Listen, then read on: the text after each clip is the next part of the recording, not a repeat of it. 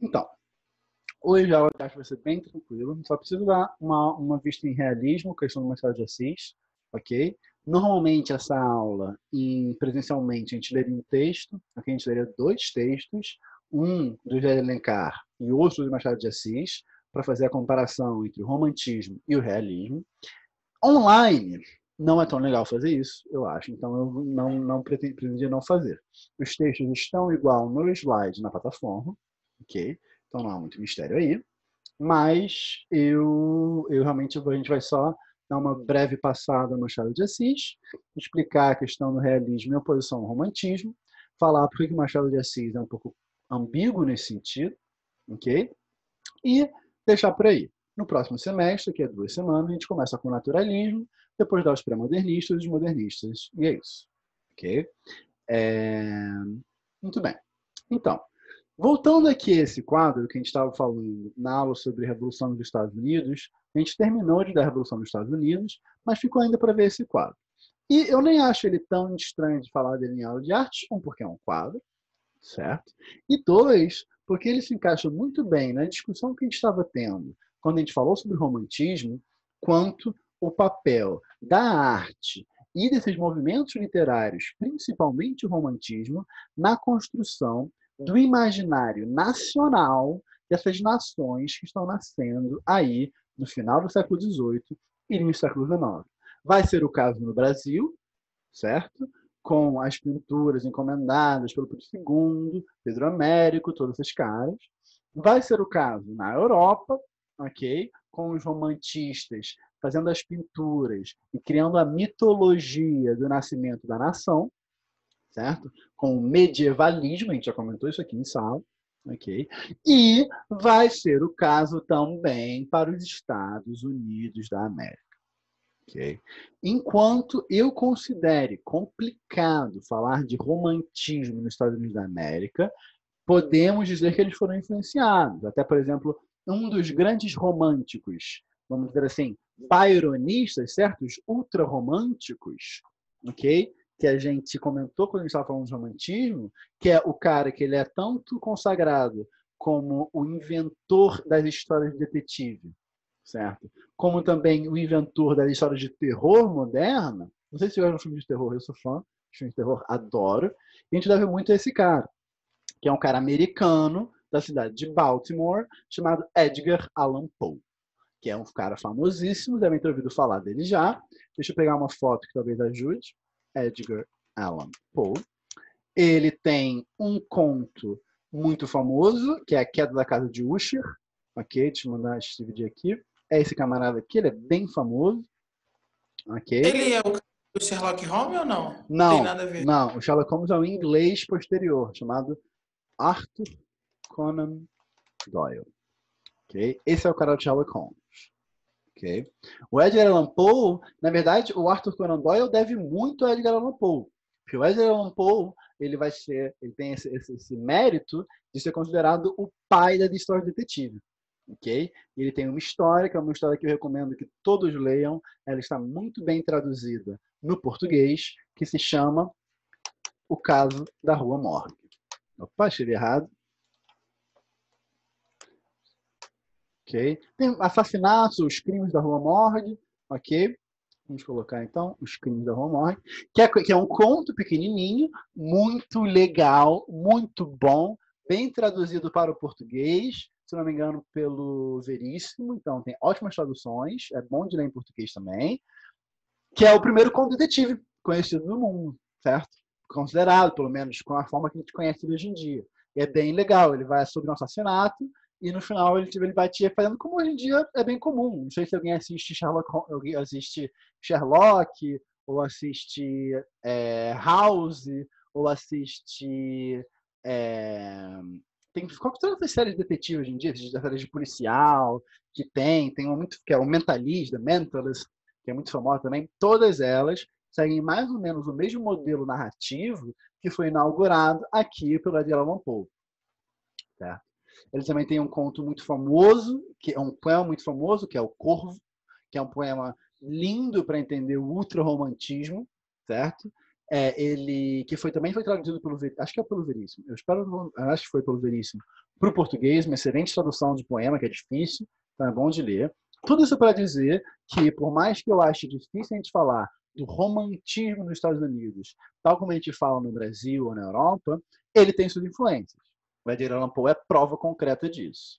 Okay? Então, quando a gente vai falar do processo artístico americano de criação do seu imaginário nacional, a gente também está falando da mesma matéria que a gente estava falando nas aulas de arte. Okay? Que é esse papel que as correntes artísticas, sejam elas da música, da literatura, das artes plásticas, vão ter no processo de criação do imaginário nacional e de construção da identidade nacional. Seja brasileira, seja americana, seja francesa, seja espanhola. Okay? Então, o que é esse quadro que tem aqui à nossa frente? Sobre o progresso americano. Okay?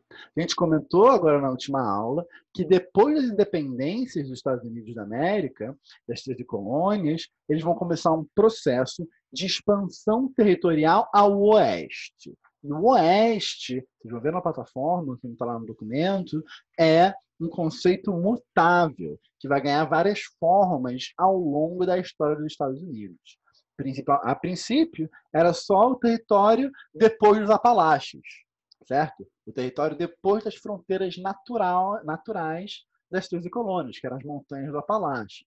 Depois vai se tornar o território do México, certo? Que os Estados Unidos vai conquistar através de sucessivas guerras, ok? E eventualmente vai se tornar a Califórnia, quando eles encontram jazidas riquíssimas de ouro na Califórnia, começa uma corrida do ouro lá, e a Califórnia vai se estabelecer como o último oeste. Mas mesmo assim, nem tanto, porque depois de ocupar territorialmente a Califórnia, os americanos vão continuar se expandindo em direção ao Pacífico. Eles vão chegar até o Haiti, vão chegar até o Japão na Segunda Guerra Mundial, e vão se expandir também para o Sul, para o Caribe. Ok? Mas bem, o que é essa expansão? Essa expansão territorial para o oeste vai ser um momento de construção da identidade nacional americana, ok? Que vai nascer em oposição aos ingleses na Guerra de Independência, mas depois da sua vitória vai ter que ganhar os seus próprios contornos. E quais contornos vão ser esses? Vão ser os contornos de uma doutrina que é importante a gente ter em mente, chamado Destino Manifesto. O que é o Destino Manifesto? O Destino Manifesto era a ideia que os americanos desenvolveram após a independência de que eles eram o chamado povo escolhido da colina, certo? De como se eles fossem uma cidade na colina que estava separada dos problemas do mundo normal e eles eram um povo escolhido, um povo excepcional, que foi dotado por Deus do papel de ocupar e explorar territorialmente esse território do novo mundo das Américas.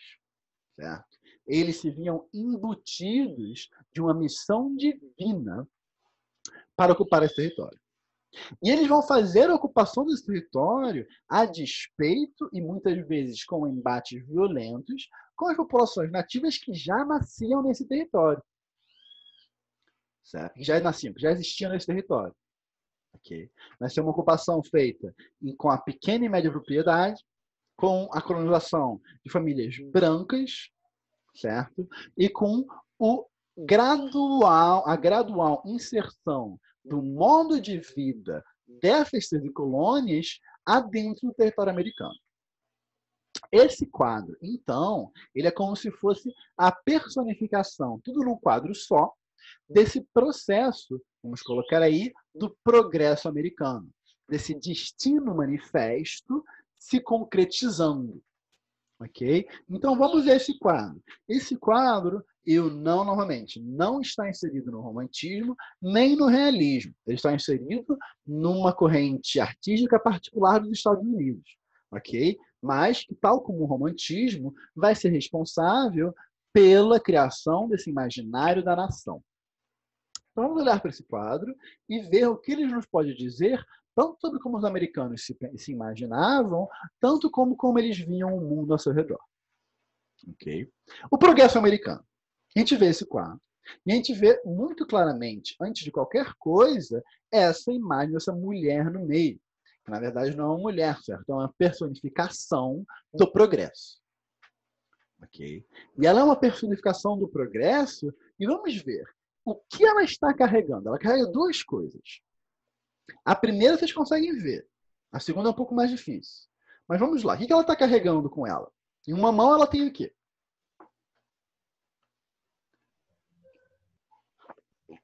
Um livro. Um livro. O que é esse livro? Não sei se vocês conseguem ler, mas aí está escrito School Book. Esse livro não é a Bíblia. Esse livro não é a Constituição. Esse livro não é a Declaração de Independência. É mais simples do que isso. Esse livro é um livro de escola. Certo? School Book.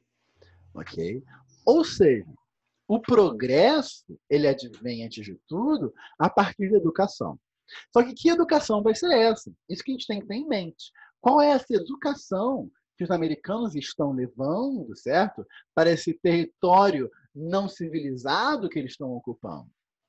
É educação religiosa, é educação puritana, a educação ligada aos valores deles, os valores puritanos, de individualismo, da família, da igreja, não é a igreja católica, mas de, de Cristo, okay? que são inculcados na criança na escola.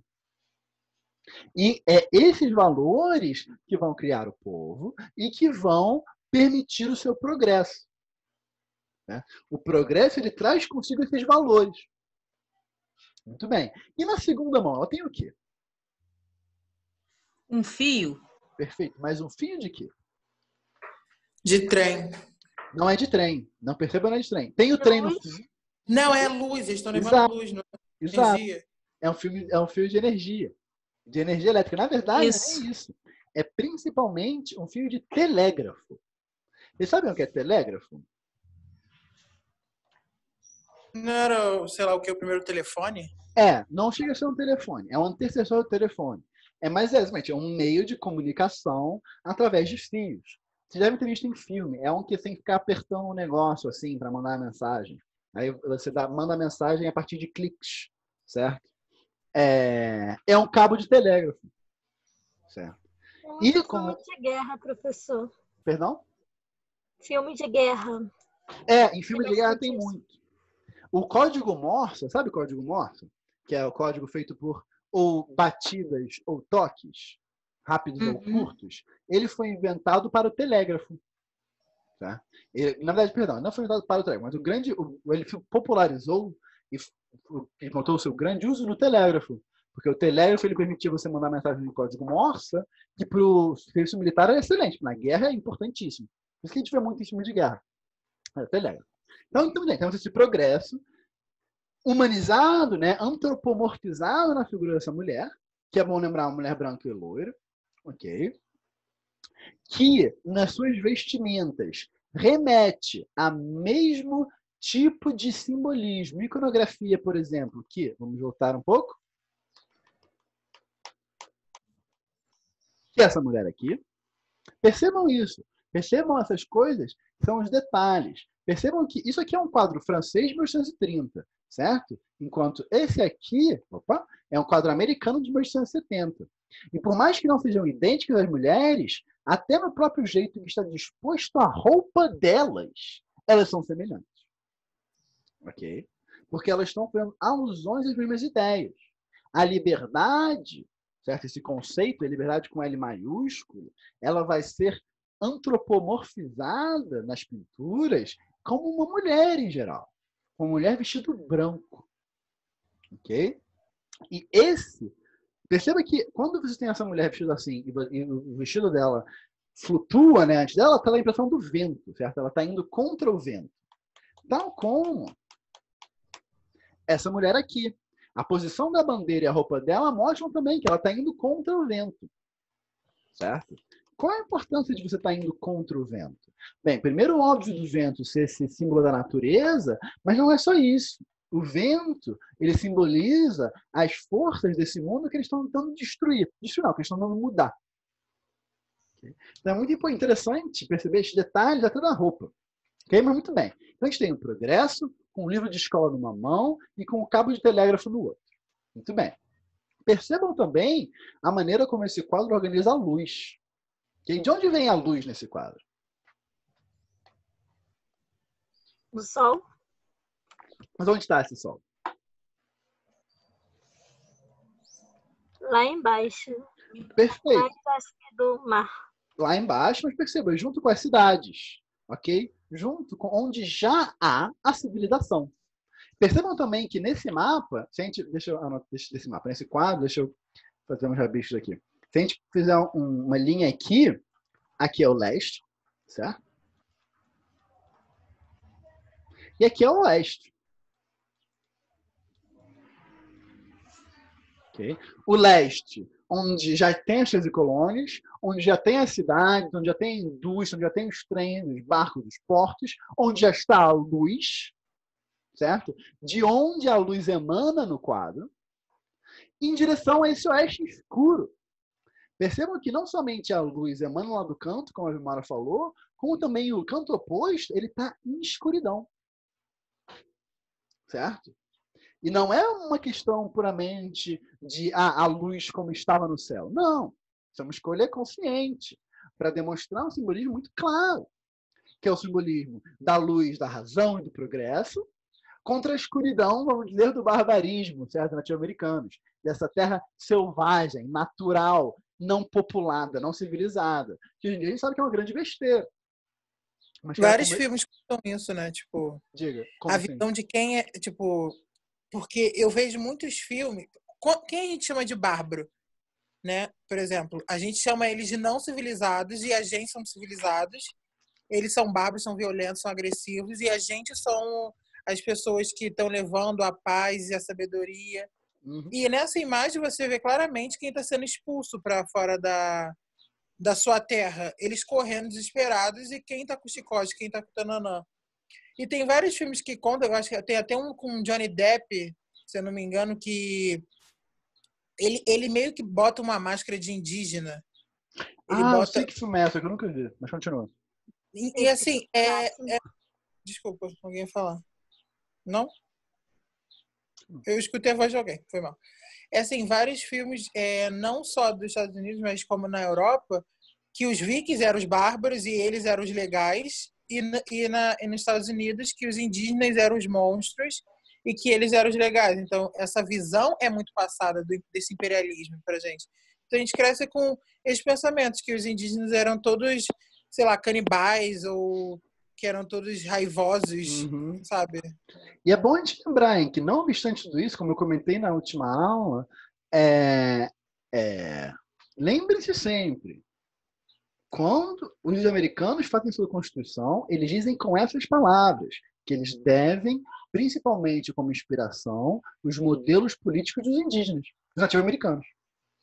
E é interessante a gente ver como isso funciona na cabeça deles, certo? Porque, por um lado, eles pegam esse modelo para eles, se apropriam deles, ok? Sem entrar na discussão da apropriação cultural, que não é discussão aqui, mas se apropriam desse conceito, certo? Mas essa, esse progresso não está ligado só com a política, né? Está ligado também com um jeito específico de organizar a sociedade, de organizar as pessoas, com valores, valores de tecnologia, valores de indústria. Percebam também que outra coisa que está muito mais presente no Oeste é a natureza. Certo? Essa associação do nativo com a natureza, com as montanhas, com os búfalos, certo? Enquanto no leste a gente tem uma cidade. Dá para ver até a ponte. Essa ponte é uma ponte de verdade. Ok? Se não me engano, é a ponte que conecta Nova Jersey e Nova York. Com os barcos. E dá para até ver um pouco a fumaça das indústrias. Ok? Com as fazendas e os trens. Claro. É, e a questão do bárbaro, eu acho muito legal essa questão do bárbaro, que o que é bárbaro vai mudar muito ao longo da história, né? E é uma, puramente uma discussão de ponto de vista. Porque de onde vem a palavra bárbaro, vocês sabem? Não? Não. De, da Grécia Antiga. Bárbaros não era lá do. Do? Qual é a palavra, professor? Bárbaro. A palavra bárbaro. A palavra bárbaro ela vem do grego. Na Grécia Antiga, lá na época de Sócrates, Platão, essa galera, muito, muito tempo atrás. Os gregos, eles consideravam civilizados todo mundo que falava grego, e quem não falava grego, eles chamavam de bárbaros. E por que bárbaros? Porque para eles, a língua deles era só um bando de bar, bar, bar, bar, bar, bar, bar, bar, bar, que eles não conseguiam entender, porque eles não eram civilizados, não falavam grego. Certo? Então eram os bárbaros. Okay? Então, quem eram os bárbaros para os gregos? A Pérsia, certo? O norte da África. Mas aí, quando chegam os romanos, quem são os bárbaros para os romanos?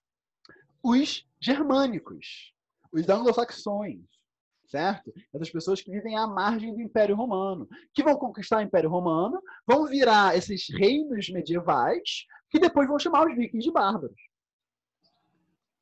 Essa noção do que é a história do conceito de bárbaro é uma história muito interessante, porque é um conceito que ele muda muito dependendo do espectro. E a verdade é que quando a gente usa o conceito de bárbaro, na verdade, a gente está muito mais denunciando nossas próprias preferências do que falando qualquer coisa sobre o outro.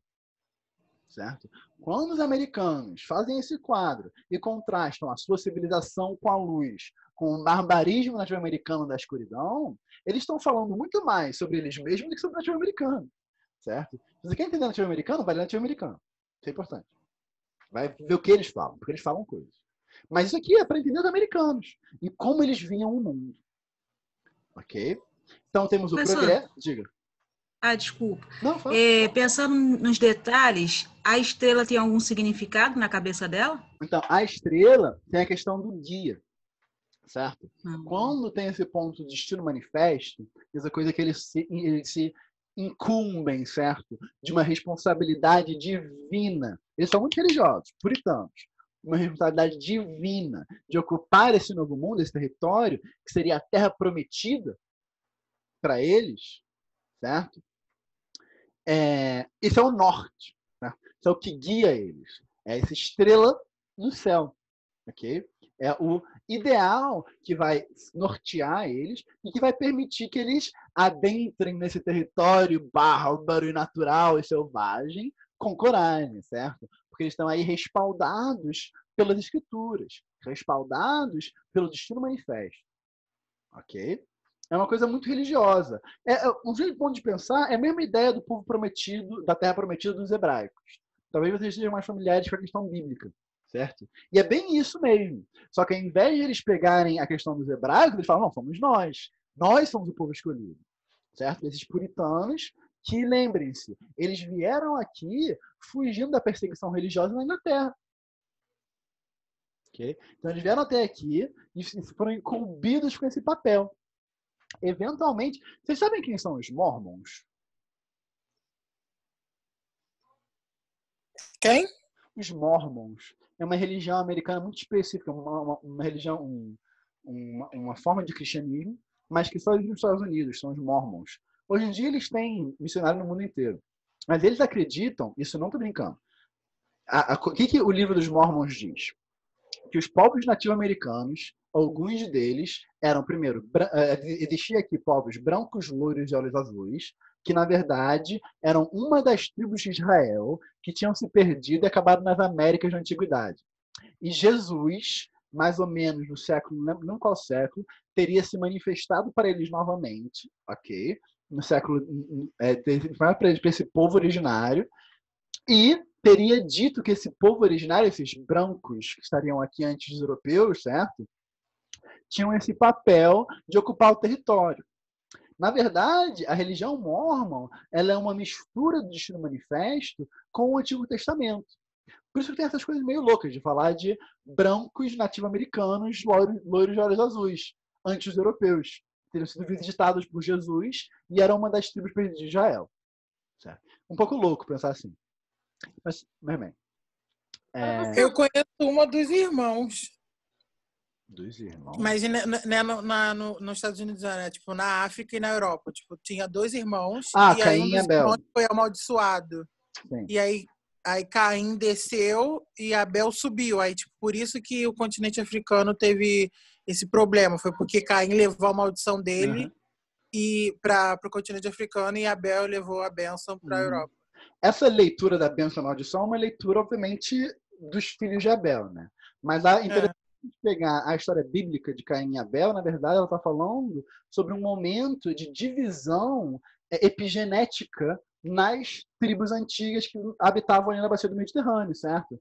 E que, de fato, uma foi para o sul, outra foi para o norte. Tanto que existem os judeus negros, você sabe, na Etiópia, ok? Galera, pesquisem sobre a Etiópia. A Etiópia é um dos países mais interessantes do mundo. Ok, mas bem. Na Etiópia... Filosofia etíope é muito bom, gente. Filosofia muito, etíope. muito legal. Tem um, tem, um, é, tem um filósofo que, em específico que ele está ficando bem famoso hoje em dia, que se chama Zara, e- Ze- Zera Jacobi, que dizem que ele foi ele propôs o iluminismo é, é, dois séculos antes de, de Kant e uma coisa que tem que tem no, no, no livro dele que não tem nos, nos filósofos europeus é que ele inclui as mulheres que ele Ah, eu diz que lembro disso. Uhum, Você falou disso na live, não falou, João? falei É, foi, eu lembro disso. Você me ensinou isso nesse dia, eu lembro disso. Eu lembro é, que fui buscar. Inclui as mulheres. Eu acho, e eu, eu acho assim, por mais que eu não seja mulher, eu acho essa discussão muito incrível. Um Uhum. cara no, em 1400 em 1400 e pouco já falando que a diferença entre homem e mulher é a criação que se dá a eles. Tem uma questão da UERJ sobre isso, não tem? Não sei, não fiz. eu acho que tem, já caiu no Enem alguma vez ou na UERJ. Mas é bem interessante que a Etiópia, não sei se sabe, mas é, tipo, os países da África como um todo foram colonizados pelos europeus no século XIX. Salvo um, a Etiópia. Certo? A Etiópia resistiu à colonização europeia militarmente e nunca foi colonizada, já manteve sua independência até hoje. ok? E o cara que resistiu é o chamado Haile Selassie, que era um grande líder militar, ele hoje em dia é venerado como profeta, certo? O Rastafarianismo, que é uma religião muito séria, que hoje em dia a gente acha ah, maconha, não é só isso, uma religião muito séria, certo? Tem como profeta o rei Selassie, por causa da sua resistência aos europeus. E a Etiópia, ela tem os judeus negros, certo? Que seriam esse povo de Caim, certo? Que teria descido a linha do Levante e ido para o sul, para a Etiópia, Somália. Ok? Mas é interessante a história da Bíblia, que a história de Caim e Abel, ela é uma história interessante sobre as migrações da antiguidade, tirando, obviamente, a leitura que foi feita posteriormente sobre a maldição e a benção. Ok? É... Mas sim, o, o que os mormons falam foi que, além de Caim e Abel, teria uma outra tribo perdida, que teria parado nos Estados Unidos da América. Ok? E que, de fato, assim, é uma discussão muito difícil de se ter hoje, mas se você for olhar as, as, os traços genéticos das populações, é muito curioso que há um haplogrupo genético que é comum aos povos tanto do Levante, certo? De uma região de hoje em dia Iraque, Israel, Síria, Palestina, quanto do norte das Américas. É bem interessante quando a gente estuda epigenética, mas bem, isso é outro ponto, não vou entrar muito aqui não. Já me, já me, já me desviei do assunto. É, mas bem, voltando para o quadro, nós temos então é, o progresso, certo? Levando essa luz das cidades para a população nativa. Essa população nativa, como a gente vê, fugindo, e a gente vê ali o cara com o chicote, mas é importante que esse chicote está chicoteando os bois. Ok? E uma coisa importante, nesse imaginário todo aqui, quem falta?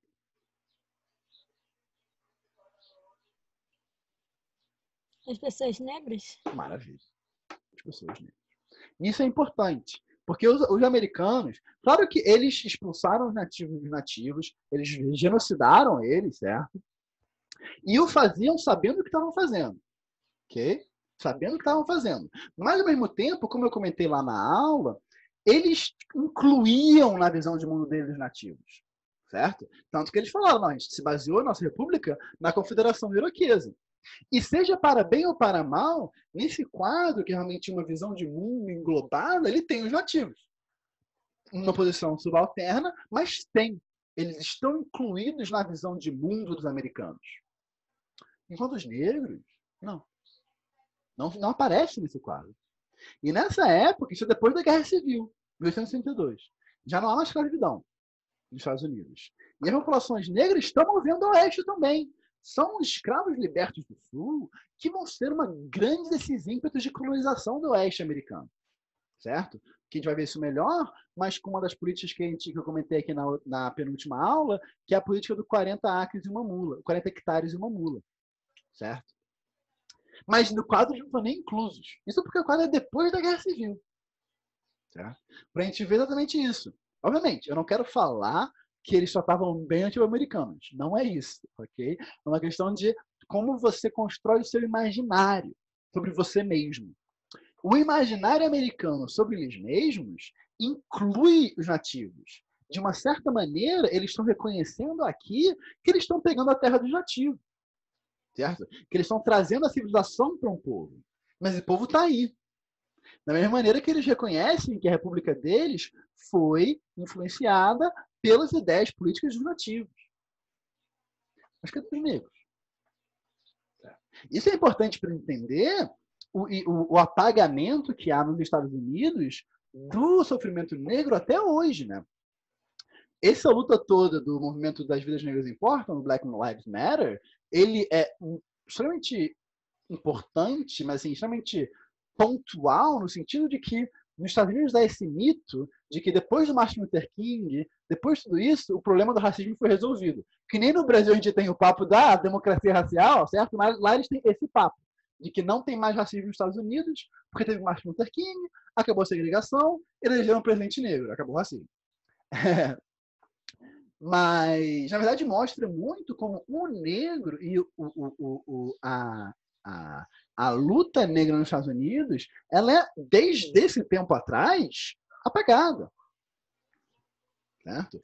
Tanto que hoje você vê a, a parte da elite branca americana falando muito, tipo, ah, que tipo, como se fossem surpreendidos que a polícia dos Estados Unidos prende majoritariamente pretos e pobres. Como se fosse uma surpresa. Não é uma surpresa, porque eles não, se dão o trabalho de olhar. Certo? Lembra, por exemplo, Martin Luther King. Martin Luther King, ele foi um cara que foi apropriado pelo discurso liberal. Martin Luther King era protestante e socialista, meus claros. Certo? Só que não, eles vão pegar só o discurso do Martin Luther King, que é aquela parte, ah, somos todos iguais e bonitinhos, que é uma deturpação do discurso dele. Certo? E desde então, desde então, ok?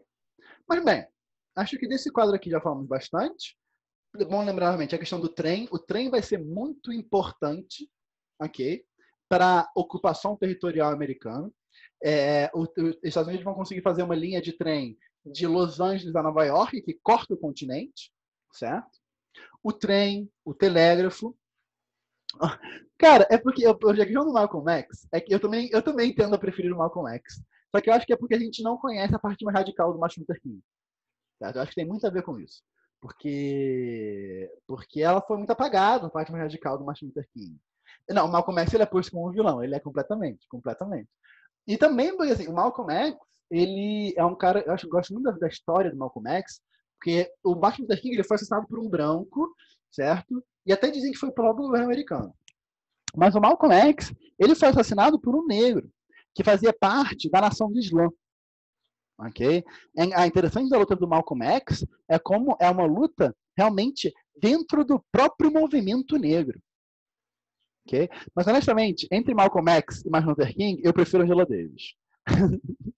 Mas, bem, então, sempre, então, não, sempre, não, sempre, né? Isso é discutível. E o bom é, um é ela tá até hoje, né? Isso é ótimo. E a gente tem que perceber um pouco a questão da Angela Davis, cara. O, o, o, o, óbvio que não é sorte, porque ela lutou por isso, mas o, o, o quanta pouca chance ela tinha de chegar até aí hoje velhinha, tá ligado? E ela tava velhinha, com o black todo, todo, todo grisalho, fazendo os discursos. Pô, ela tinha, tinha arquivo do FBI para matar ela, tá ligado? Ela, na juventude, fazia discurso atrás de vidro à prova de bala, porque queriam matar ela. Nem queriam matar o Malcolm X, que nem queriam matar o Martin Luther King. Conseguiram matar os dois, não conseguiram matar ela. Mas, bem, é, Angela Davis é uma pessoa realmente muito, muito, muito legal uma história de vida impressionante, um trabalho intelectual incomparável, assim. Mas bem, desse quadro, eu acho que a gente dá bom. Alguma pergunta, algum comentário mais? Tranquilo? Então calma. Deixa eu tirar aqui. Ok. Vamos então. Calma, deixa eu ver certinho. Vamos então voltar para o realismo mas nada muito pesado, tá, galera? Como eu falei.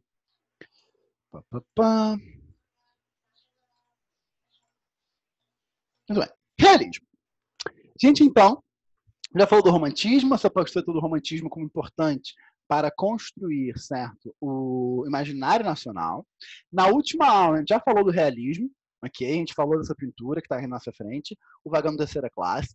Essa oposição do realismo com o romantismo. E é importante a gente entender o realismo exatamente nesse sentido. ok? O realismo ele surge muito em oposição ao romantismo. ok? Que vai ser um pouco diferente do naturalismo, que a gente vai ver no próximo semestre. O naturalismo ele tem uma forma muito mais concreta. Eles têm delimitações muito mais definidas, enquanto uma coisa em si. Certo? Enquanto o realismo, isso não diminui ele, tá? Enquanto o realismo, ele vai nascer e se formar muito em oposição ao romantismo. Tanto que muitas pessoas dizem que o naturalismo, na verdade, ele é só a conclusão do realismo. É quando o realismo cresce, né? vira um, um, ganha forma plena. Okay? E eles estão os dois profundamente relacionados. Tanto que agora a gente, a gente não vai falar do, do Azevedo, do Cortiço, do Azevedo, certo? Porque ele está encaixado no naturalismo. Mas quando a gente vê aqui o vagão terceira classe, essa preocupação do realismo, de mostrar a vida das pessoas que não são muito importantes, que não têm grandes, grandes que têm grandes histórias, mas que não são as clássicas grandes histórias, são os grandes homens e mulheres da história, certo? são as pessoas mais, entre aspas, comuns, que é uma preocupação também do naturalismo. Um cortiço é basicamente isso, certo? É uma história que, em vez de contar, como lá o José Alencar faz Iracema, sobre as origens mitológicas do povo brasileiro, vai contar não. Vai contar a história de um cortiço, sobre pessoas comuns, sobre Zé, qualquer, Zé qualqueres, certo? E é legal, porque as pessoas do cortiço no, no, livro, no final, elas não chegam a uma posição de poder, elas não viram heróis, elas não, não, não, não sabe, elas não transcendem a sua posição de comum. Elas continuam comuns, como nós vamos continuar para a vida, certo? E o, o cortista é muito legal. Mas bem, por enquanto estamos no realismo. O quadro a gente já falou. Opa. E o que, que eu quero, ok? Comentar sobre a questão do realismo. Novamente, o romantismo ele vai ser responsável por esse imaginário das nações, ok? Durante o século XIX, mas como a gente falou na última aula agora de história geral, durante o século XIX, graças às sublevações que começaram nas Américas e que vão proferir os golpes antigo, contra o antigo regime, o século XIX vai ser marcado muito pelos levantes liberais, ok, na Europa, liberais nacionalistas. E esses levantes liberais vão ser um movimento que vão agregar essa grande massa. ok? A Revolução Francesa, ela agrega a massa, a gente vai ver que ela vai agregar uma massa camponesa e entre aspas, proletária muito grande também. Mas, em geral, essas revoluções, a Revolução Americana, a independência latino-americanas, a independência do Brasil, elas não agregam as massas. Ok? Mas agora, no século XIX, elas vão agregar as massas, certo? A, massa da população, os povos comuns, eles vão mais e mais se fazer presente pelo uso da força no âmbito da história.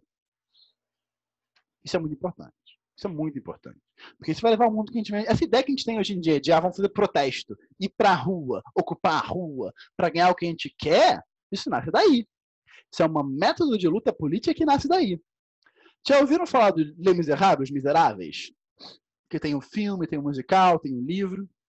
O livro é do Victor Hugo, certo? Qual é, do, miseráveis? Os miseráveis é essa galera. Ok? Os miseráveis são exatamente esse povo comum.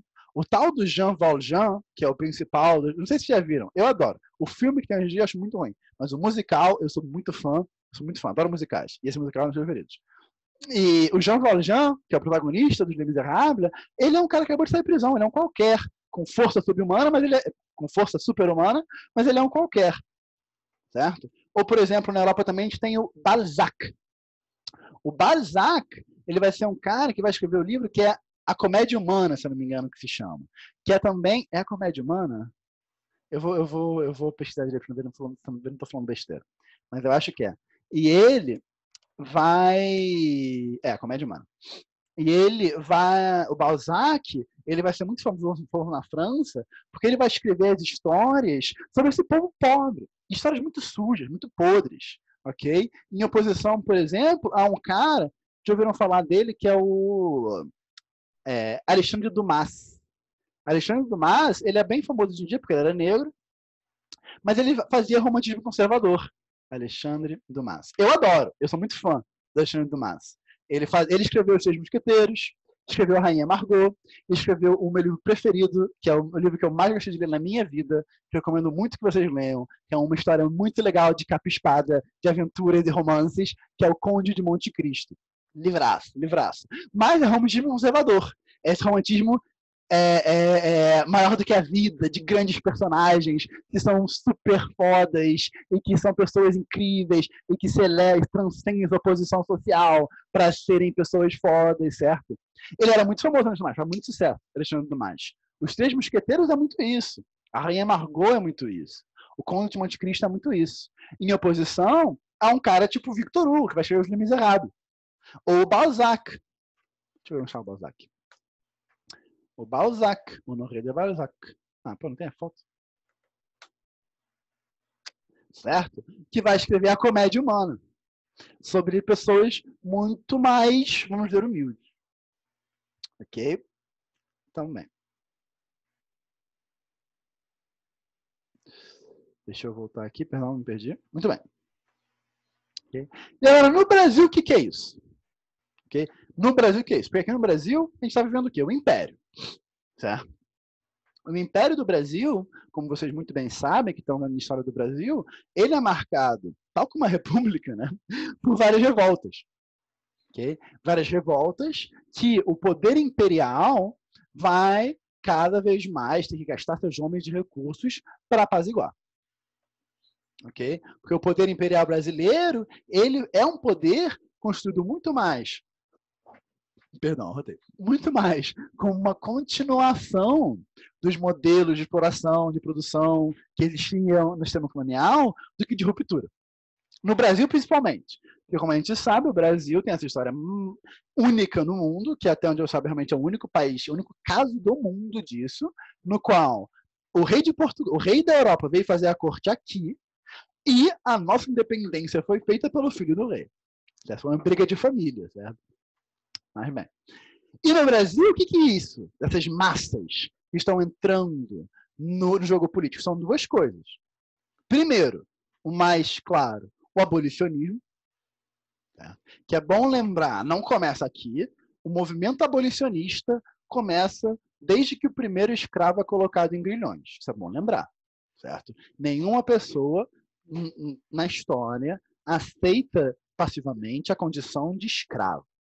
Certo? A existência da escravidão implica necessariamente na existência da resistência à escravidão. Okay? A história dos quilombos do Brasil estão aí para mostrar isso muito bem. Certo? Mas, agora a gente está com um movimento, vamos dizer, mais. Qual é a palavra que eu quero? Mais difundido entre diversas camadas da sociedade, que é o abolicionismo certo? que tem figuras importantes tanto entre os escravos quanto entre os negros libertos, e é sempre bom lembrar que no, no momento do fim da escravidão no Brasil existiam mais negros libertos do que escravos, ok? Que, claro, viviam em condições subalternas, mas eram libertos, não eram propriedade de ninguém, ok? Como também vai ser um movimento que vai se difundir entre as classes maiores, ok? Grande exemplo disso a gente vê na o Castro Alves. Ou um cara que eu acho muito legal, que é o Joaquim Nabuco. Ok? Ou, como o Gota falou lá na live, sempre bom lembrar, os irmãos Rebouças. Certo? Que eram negros, que eram gênios da engenharia, que fizeram o Rio de Janeiro ser possível. Vocês imaginam, meus caros, o Rio de Janeiro sem, sem o túnel Rebouças, como seria um inferno ir até o centro da cidade? Tem que dar a volta pela cidade inteira. É, negros abolicionistas. Ou ambos, os irmãos Rebouças. É o André e o Ricardo? Acho que é Ricardo. Não lembro. Nunca lembro. Mas bem. Então, no Brasil é isso. Essa, essa questão das massas, certo? Que vai se fazer muito presente no realismo e no naturalismo. Tranquilo aqui, meus caros? Sim? Sim. Bem? Então, ah, e a segunda parte, abolicionistas e os republicanistas, certo? Que vão ser movimentos, isso é uma coisa que a gente raramente fala na escola, mas quando a gente entra na faculdade de História a gente vê muito, que é como o movimento abolicionista e o movimento republicano no Brasil, eles andam em paralelo, certo? Não é por acaso que assim que acaba a escravidão, acaba o império. Não é por acaso. Ok? E o republicanismo ele tem várias formas, tanto a forma mais militar, né, que foi a que acabou ganhando, que é a forma da República da Espada, quanto formas positivistas, quanto formas profundamente populares. Tem o republicanismo de São Paulo. E é raro falar bem de São Paulo nas aulas, mas o republicanismo de São Paulo, na época do Império, do Benjamin Constant, por exemplo, era o grande republicanismo que tinha como molde os Estados Unidos, tinha como molde a Conferência Mineira, certo? E que andava lado a lado com o movimento abolicionista. Ok? Que é isso. O, o, o Império do Brasil, certo? O modelo político monárquico, ele é, de forma ou outra, uma maneira de você excluir grandes massas do processo político. Certo? Por definição, quase. E esse processo do século XIX, que vai influenciar muito o realismo, vai ser esse processo, que a gente está falando na Europa, agora está falando no Brasil, sobre as massas cada vez mais participarem ativamente do processo político. Ok? É, que vai dar no século XX, numa coisa que a gente vai ver melhor quando a gente vê modernismo, que é a cultura de massas. Ok? Mas bem, a gente já falou um pouco disso quando a gente falou do Walter Benjamin aqui na sala, mas bem. Então, realismo, ok? A gente vai pensar no Brasil, no Machado de Assis. Ok? E uma das grandes coisas que faz Machado de Assis ser esse cara, assim, é, é, é, não vou dizer venerado, mas esse cânone, esse pilar da literatura brasileira, além do seu próprio talento, que é inegável, opa, mas também porque ele é um cara difícil de definir. Certo? E ele, como a gente viu já no exercício da última aula, tem aspectos românticos, tem dizes, se diz que tem a fase romântica de Machado, brevemente, e tem aspectos realistas, certo? Mas mesmo assim ainda fica a dúvida do que, que Machado é. E no final, Machado é Machado. Certo? Como todos os autores, a gente, a gente pela o saco do Machado bastante, porque, mas é porque ele é foda, mas eu vou lembrar que qualquer autor porque aqui em sala a gente fala, ah, esse cara é romântico, esse cara é ultra romântico, esse cara é isso, isso. Mas a verdade, galera, as pessoas são pessoas. E ninguém se define muito bem em nenhum padrão. As pessoas, elas são múltiplas. As pessoas, elas são contraditórias por definição. Ok? O que a gente faz aqui em sala é tentar esquematizar a realidade para tentar entender ela. Mas nunca podemos nos esquecer que os esquemas que a gente faz da realidade não são a realidade. São esquemas de compreensão. Isso é muito importante. Muito, ainda mais quando a gente fala de arte. Muito importante. Ok? Mas bem. Então, como a gente já falou, o realismo tem como motivações essa questão de fazer uma representação fiel da realidade, mas fiel não só no sentido de verossímil, certo? perdão, de mimética, certo? De imitar as coisas como elas são. Porque senão a gente poderia falar, por exemplo, que uma estátua do Michelangelo é realista, só porque ela é anatomicamente perfeita. Mas não é isso. Não é questão de fazer uma mímese, de fazer uma cópia da realidade. É questão de retratar a realidade nos seus problemas e nas suas contradições. Certo? É uma questão muito mais do que realmente fazer uma mímese, certo? Essa ideia que algumas pessoas têm de que arte tem que ser realista, tem que ser é, é, é, é um retrato fiel, como se fosse uma foto das coisas, bobagem total, bobagem de quem não entende de arte, perdão, eu fico bolado, porque eu passo muito tempo no Twitter, eu falo muito isso. Bem, o realismo, na verdade, é sobre essa questão de a gente representar a realidade nas suas contradições, nas suas, vamos dizer assim, nas suas sujeiras, certo? Nas coisas que elas não são bonitas, nas coisas que, às vezes, são muito feias, mas que onde ser retratadas, que o romantismo esconde. Lembra que aquele texto que a gente leu do Machado, que ele fala exatamente isso, a questão da mulher. Que o romantismo esconde as espinhas, esconde as marcas, na, na ideia de mostrar uma mulher perfeita que não existe. certo? É, por isso, consequentemente, os temas vão ser esses: a realidade social, os problemas, os conflitos entre as pessoas, ok? E os aspectos vão ser tudo isso. Tipo, tudo se deriva, certo? Personagens com defeitos, pessoas comuns, ok? A elaboração psicológica. E que elaboração psicológica? Elaboração psicológica é aquela perspectiva que o Machado faz muito bem no Brás Cubas, que é gente, de colocar a gente dentro da mente do personagem. Certo? Porque um personagem romântico, as motivações dele e, consequentemente, os processos mentais que o, o escritor mostra pra gente são idealistas. Ele quer a mulher por causa do amor. Ele quer lutar pela pátria por causa da honra. Ele quer fazer X por causa da glória. Enquanto no realismo, os processos psicológicos dos personagens, certo? As linhas de pensamentos que eles seguem são muito mais reais. Porque a gente, no mundo real, não faz coisas por ideais. Às vezes faz, mas em geral não, né, galera? A gente faz coisas por processos psicológicos complexos e contraditórios, difíceis. A gente faz porque tem ciúme, certo? Porque a gente tem vergonha, porque a gente é orgulhoso, porque a gente tem ambição. Certo? E é isso que os realistas demonstram. Ok? E o último detalhe importante, que é a questão do universalismo. Ok? O que é o universalismo? O universalismo é essa ideia de que. Opa, alguém falou uma coisa no chat, um segundo. Ah, Machado é ótimo, Machado é ótimo. Eu a gente estava começando já na última aula, né? O, eu sou grande fã do Brás Cubas, tenho um ranço, certo ranço, com, a, com o Dom Casmurro. Mas é porque eu forrado dele na escola. Mas o Dom Casmurro é um ótimo exemplo dessa elaboração psicológica. Certo? Porque ele também se passa todo dentro da cabeça do, do, do, do Casmurro.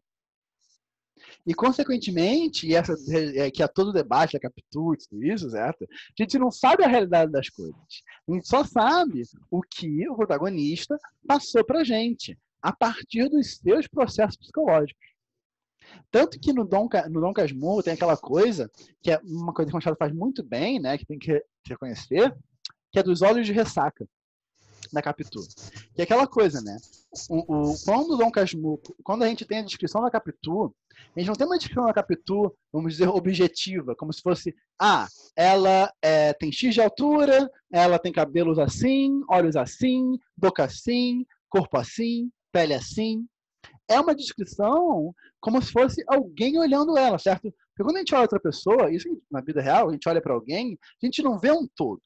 A gente não vê, tipo, a gente não vê, ah, tá, eu conheço meu amigo aqui, eu tô vendo ele, tem sete de altura, ele tem isso de coisa, etc. Não, a gente faz, pega algumas coisas, certo? Por exemplo, a minha mãe. A minha mãe, quando eu olho para ela, eu vejo muito cabelo dela, por exemplo. Ou a pele, que é muito branca certo? De meu pai, quando eu vejo para ele, eu vejo muita careca dele, certo? Por exemplo.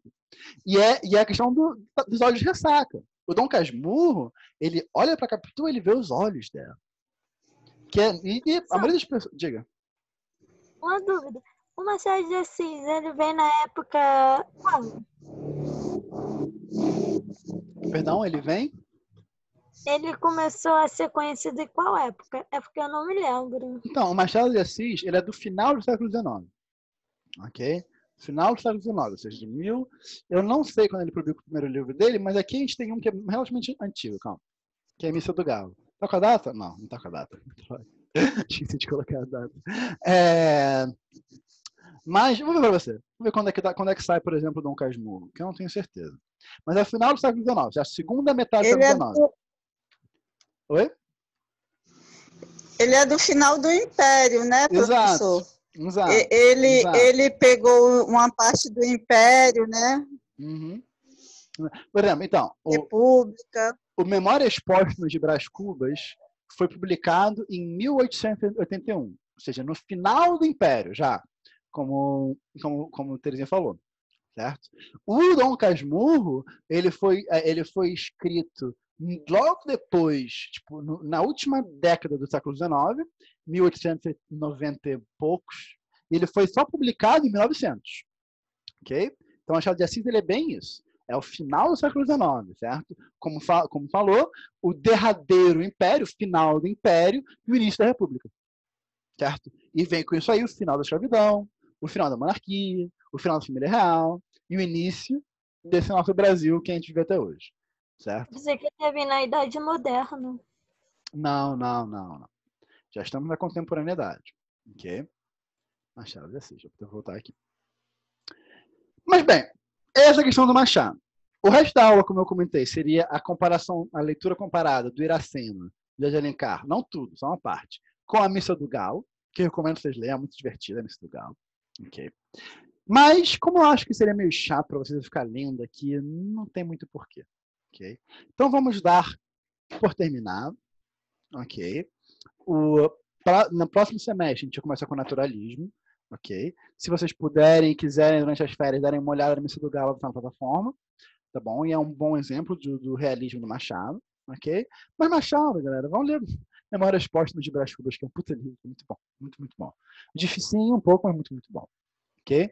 Mas, assim, o que eu recomendo para começar a ler Machado, lê os contos, Missa do Galo. É um conto divertido, fácil de ler, ok? Os contos são mais palatáveis do que os livros inteiros. É... Mas é isso. Alguma pergunta, algum comentário, alguma coisa? Não? Não. Tranquilo? Então, então agora sim é a nossa última aula antes das férias, certo? Dessa vez eu não errei. Ok? Vai ser de fato nossa última aula, terminamos aqui. Em História Geral, semestre que vem, vamos começar lá a Revolução Francesa. E aqui em Arte, vamos começar Naturalismo. Ok? Boa fe Ok. Boas férias para vocês, meus caros. Fiquem Obrigada. bem, fiquem saudáveis e seguros. Ok? Igualmente. É, agora, a próxima aula, se eu não me engano, é Sociologia, ok? É, fiquem, mas bem, fiquem bem, fiquem seguros. Pede alguma ajuda de alguma coisa, falem com o Percep, ok? A gente tá aí para isso, a gente tá aí para ajudar, para dar o apoio necessário, ok? É, tá na plataforma tudo. E, bem, boa sorte com os estudos. A gente se vê daqui a pouco, são só duas semanas. Daqui a pouco a gente se vê de novo, ok? Você tem que aturar minha voz de novo todo sábado. Muito obrigado por virem, é um prazer dar aula para vocês. É isso. Acho que é só. Bye, bye. Bom recesso, professor. A tchau. Tchau, tchau. Aproveitar para reler o cortiço. Aham, sempre bom, sempre Tchau, bom. Ler o cortiço. Tchau.